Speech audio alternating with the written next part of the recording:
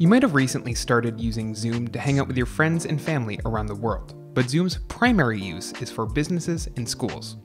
That can make things pretty awkward if you suddenly have to use your friends and family account in an important meeting, especially if your name is something embarrassing. Luckily for you, changing your name in Zoom is pretty easy, even if you're already inside a Zoom call. It all comes down to editing your profile. To start, either open the web client or desktop client on your computer, then head to your profile.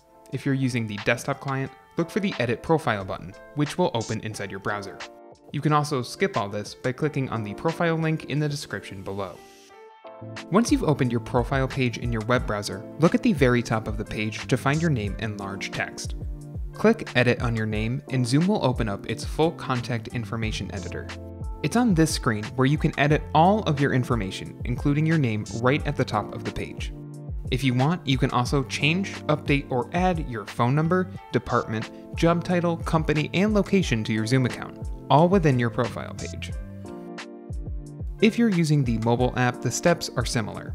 Hit the settings icon at the bottom of the Zoom app, then tap on your name to edit your profile. In the next menu, update your display name and hit Save in the upper right corner. If you're already in a meeting and you need to change your name, you don't have to leave the meeting.